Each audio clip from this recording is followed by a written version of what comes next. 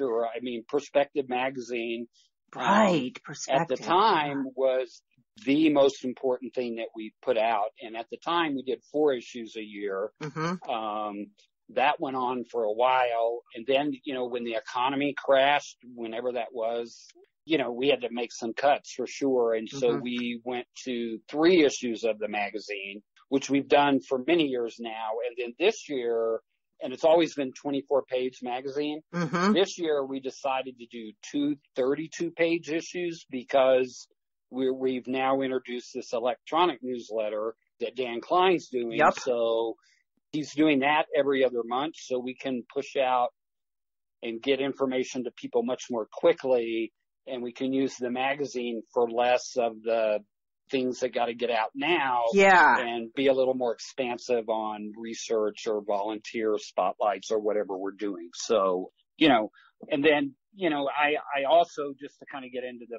broader things of things that i do i, I write pretty much everybody's speeches Kari's so i've speeches, heard. Steve's speeches oh um, really? You, you write all of them yeah, I mean, I don't really write stuff for Steve because, you know, he, that guy is so smart, it's scary. And really? I, I, would, I would never presume to tell him how to talk about science, but I do review things and all the PowerPoint things that people put together, anything that is produced internally by some staff member you, that will be seen by the public, they run it by me. And it's not really because I'm the expert. It's more so that I can make sure that whatever messaging and information we're putting out is not only correct, but that it, we speak in the same language all the time. Uh-huh. And, you know, and that's quote unquote branding. A lot of people, when you talk about branding, you think it's just the logo or the graphics, which it is. Um, but it's also the, the message. entire messaging of how when people hear hear or see the Tuberous Sclerosis Alliance, whether it's online or Kari speaking or whatever it is, that we're always speaking in the same language and that consistency year in and year out pays off over time, if that makes sense. It so, does. It, and nobody's yeah. ever explained it to me quite that way about branding. That really is helpful.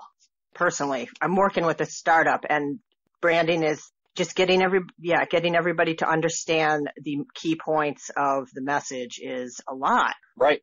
And, you know, ultimately, I mean, we, we spoke earlier on about, you know, the language around the linchpin disease. And, you know, when we started talking about that years and years ago, it's been really cool over time. I mean, you know, I was sitting here in Toronto at the research conference and the researchers use that language now. And wow. if you go to DC, the parents use that language when they're speaking with their congress people. And as staff, we use it all the time. So, you know, that little phrase, TSC is a linchpin disease that can benefit our understanding of other diseases like cancer, diabetes, and autism has permeated everything that we do. And that's a great example of simplistic language as part of branding that huh. over time just becomes part of your culture or whatever it is. Right. So, yeah. That's interesting. So as far as your, your career at the TS Alliance, what are you like the most proud of? I know you, I have a note here about the IMTSC, the hashtag, another kind of yeah. Um, or whatever you, you want to talk. yeah, that. I mean, I I alluded to a little bit earlier on about the messaging, and it, I think it was uh, I'm terrible with years, but 2009, 2010 ish when we hired this outside firm to kind of help us with our messaging.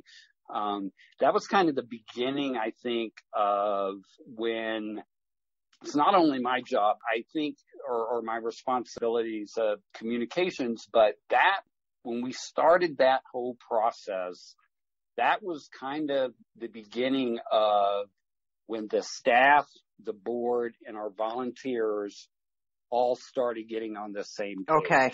And that makes sense. So that, I think, and that was right after a year or two after Kari became CEO, where everything just started falling together. We started hiring and getting the right staff, many of whom, as you know, have been with us more than 10 years, which is mm-hmm. completely unheard of in nonprofits. Really? So, why me, is that? Why is it that people yeah, what's why yeah. is there such a high turnover? Is it you know, I think in nonprofits in general, and I'm this is just in general and anybody just a stab at it. I'm not looking yeah, for, you yeah. know, I think most people in nonprofits a typical tenure somewhere would be two to three years because there's always um, this challenge of working, particularly in small nonprofits, of how do you move up? Because okay you know, there's there's only so many places you can go. There's only so many jobs, yeah. and you know, you can get promoted like I did, you know, change your title or mm-hmm. whatever. But if you want to be blunt, more money, you typically have to move along to get a, a little bit okay. more money because nonprofits in general pay well. Not all of them. Most pay fairly and well, but it's not what you could make in the corporate world right. by any means. And so most people flip around to make more money or to do something different. I think we've been very lucky that our board made the decision around that time to make sure that our staff was paid competitively in DC nonprofit arena. And mm-hmm. so that helped. But I think for the TS Alliance, it's way beyond that. Yeah. yeah, sure. So as far as what you're the most proud of? Oh, right. I'm, I'm very proud of the website for sure because oh you should be you know it's just it's been i can't tell you i have that thing open all the time yeah me too and you know it's just like I said, this is the fourth version, and I think this version we got almost exactly where we need to be. And it's a very arduous, painful process sometimes. And, you know, we have a good vendor who I've worked with this entire time, and she gets it. Mm-hmm. And that's that, got to that be important. Certainly helps. So that that's a big piece of it. I'm very proud of the branding that we do, and I think that people I hear all of the time, not all the time, I hear quite a bit from other groups how impressed they are with how people view us from the outside, what our image is, you know, th- that type of thing. Uh-huh. So I'm really happy with that. And then you mentioned the IMTSC campaign. Yep. I can't really take credit for that. That was a great TSC dad named Eric DeMario who. Oh, um, Allison's um, husband.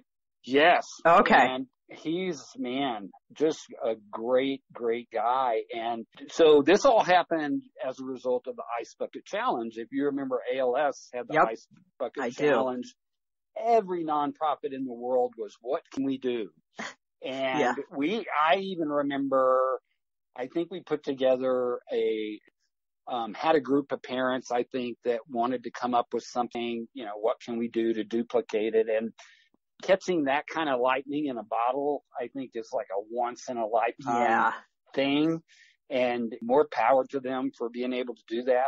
I even thought at the time what anybody does to try to emulate this is never going to hit that same mark. Yeah. But, so we were batting all these things around and I remember getting an email from Eric DeMario and he said, Hey, I'm a videographer. I want to do something. Uh-huh. And I remember telling them, well, we have videos. Have you watched this? Have you watched that? And we had had some more long form kind of unlock the cure stuff with Julianne Moore in them. But he was like, well, you know, these 10, 15 minute videos really aren't working these days. I want to do something more direct, mm-hmm. but I'm not really sure what it is. And so Kari and I hopped on a phone call with him, a few phone calls, and we were getting ready to do the 40th anniversary gala up in New York City and we had this play four decades uh, one community that you know we were going to do that was going to go over the history and we had you know these celebrities coming. So kari was like hey we're going to have these celebrities here. What could you oh, do man, with them? yeah now yep okay. Yeah so it literally eric even when we got there that morning to shoot well, it was the night before. I met him for the first time in the basement of this hotel in New York City. And he had his laptop and he said, here's my idea. I uh-huh. want to have the celebrities look at a camera and we're going to come up with these public service announcements, these 30 second public service announcements based on the hashtag IMTSC. So that's how that all started. Okay. So we filmed everything. It looked great. You have to kind of like, if you don't pay actors, you have to go through their unions to get permission and there was a lot involved behind the scenes and luckily Eric lives in that world so he was able to pull a lot of Oh man, that's cool. Um, to get things done and so I remember we had everything filmed and edited and then we were like what do we do with them now? and so we decided, you know, you can distribute public service announcements to television stations, right? And so there's companies that will do that for you. So we hired this uh, firm in New York City um, to do the electronic distribution for us, uh-huh. and there was like a one year campaign for that. And we also decided, well, you know, I remember Eric flew to DC and we had a meeting and he was like, we really need a website. And um, we were like, well, we didn't budget for a website, but. oh, you mean like an IMTSC website? Yeah. And so we were like, okay, how could we use this website? And so over the next couple of weeks, I pulled in our web vendor. Again, as I mentioned, we've used her for many, many years. And between like I think it was Kari, Lisa Moss, myself, Eric, and the web vendor, we just kind of sat around throwing around ideas, and then this whole imtsc.org came about. And even though we haven't focused on that campaign, so to speak, for a couple of years, that whole site and campaign still lives at, at imtsc.org. Mm-hmm. It's got all of the PSAs, but we use it also for kind of fundraising too, if people wanted to donate. And uh-huh. I, I don't recall it being a, you know, a huge fundraiser. Um, but that whole campaign, once that year was over with the television part of it, we ended up getting $1.5 million value in media time, um, wow.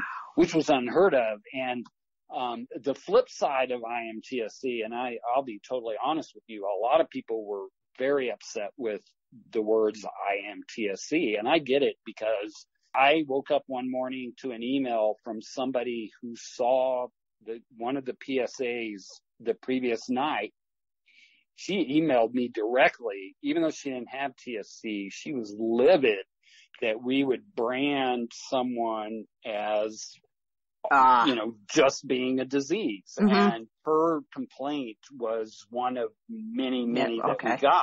And there were people on Facebook who were upset about it. And, you know, luckily or fortuitously, whatever you want to say, Eric was a TSC dad. So, yep you know, it wasn't Jaye Isham who's just this communications professional came up with. This was a dad.